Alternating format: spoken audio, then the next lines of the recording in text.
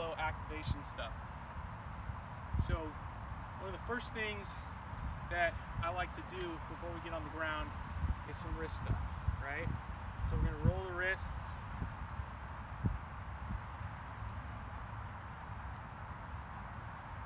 And I'm just turning over one wrist over the other. And then when we switch, I like to come here and then push it back around the other way. So you can start nice and slow, then you can pick it up. That's an important thing with these mobilizations is going at different speeds, right? Because we could, we want to be good at going slow at these things to feel the movement, but then we also want to get out of our head and just feel the flow of the movement, feel our body. We've done the groundwork with going nice and slow. Now let's go ahead a little bit quicker so we, we can we can maybe identify some areas that don't feel super comfortable, right?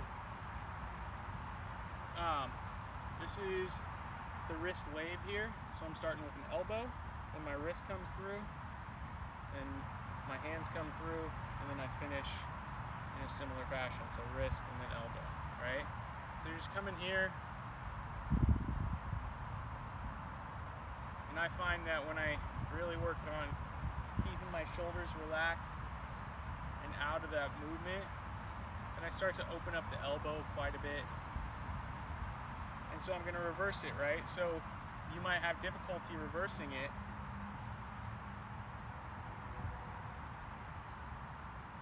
But, well, I probably should show you right now what I would do if I couldn't go the other way. Here, and then here, right? So we're getting a similar motion on each wrist, right? Flexing and extending the wrist, but without the dynamic nature. Going the other way on the wrist rolls took me about a month, or the wrist waves took me about a month. So, you know, we got to build those pathways in our brain. All right, this one's super important, and you might not feel anything right now, but the more you do with your forearms and the tighter your forearms get, the more this lateral line stretch is going to be really important. So I'm going to press the sides of my hand. So we want to stretch this lateral line right here. I want to press that forward. Get a nice stretch there. Same thing here. The better I do about keeping my shoulders nice and relaxed, the more I can get into those other areas, the elbow, the wrist, the forearm, that lateral line. And then we're just gonna shake everything out. So you're gonna make a nice shaka symbol. Rice, you know, the albino Hawaiian right there. He's really good at it. So we're just gonna shake like this. You know, if you wanna use any of this shit as dance moves too, by all hmm. means. A little quick, I wasn't even getting the, uh, the mobilization there.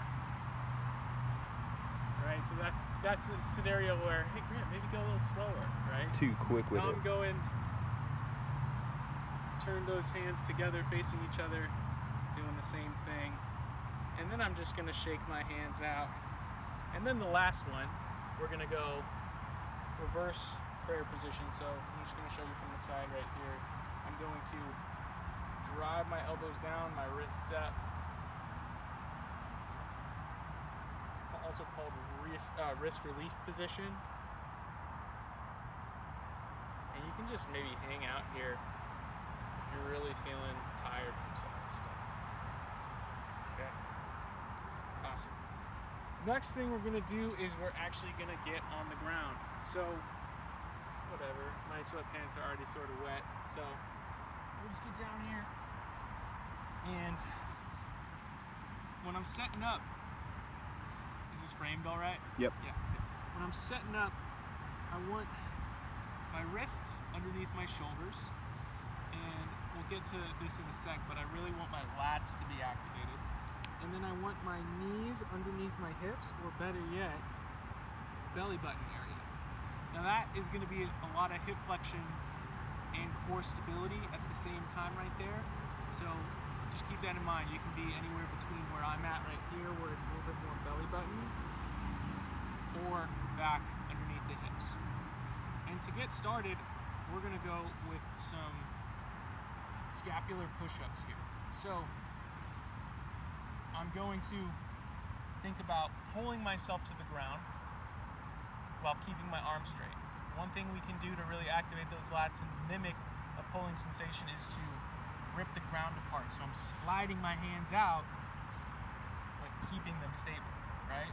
So spreading the floor, and I'm gonna think about pinching my shoulder blades together. And then as I push away, I can think about crushing the ground or keeping that same tension or just pressing up, whatever's most comfortable for you right now. But I would definitely recommend going into the scapular push-up, spreading that floor apart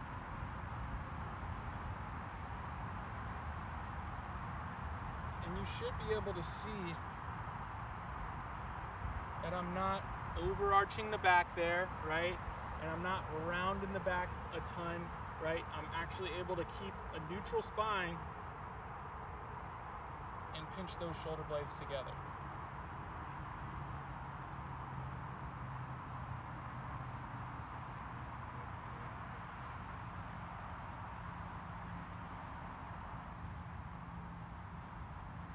You can go as slow or as fast as you'd like on stuff like that. Really good way to restore that movement in your shoulder blade. So we're here. I'm gonna sink in and then I'm gonna protract not round the entire back, keep those, keep the pelvis in the same spot, but protract through the upper body here. Pinch. Send those shoulder blades apart from each other. This about three to five times, and then you're gonna find something right in the center. Now what I want you to do is I want you to think about squeezing those glutes. So what I'm doing is I'm just thinking about activation, right? I'm not pushing the hips through. I'm just thinking about squeezing the glutes, engage through the core, either bracing the core or pressing that belly button to the spine. And then this alone, pressing into the ground, spreading the floor, squeezing the glutes, we hang out here, we're getting super in touch with the ground and super in touch with our body, right?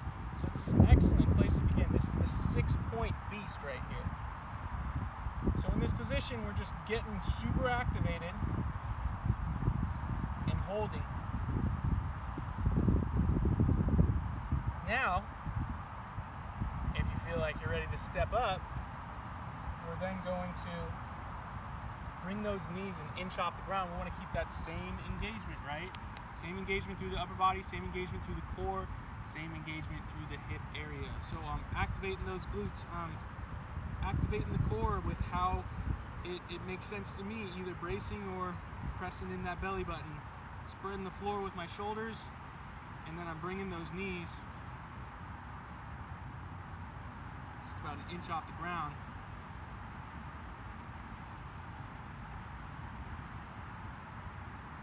And breathing.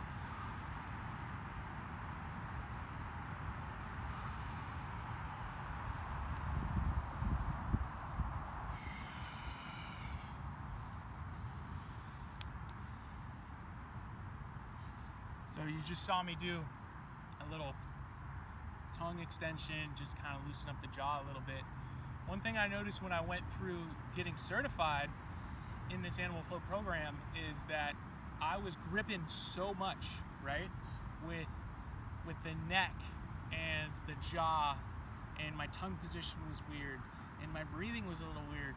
So think about creating that tension throughout the body but relaxing that face, relaxing the breath.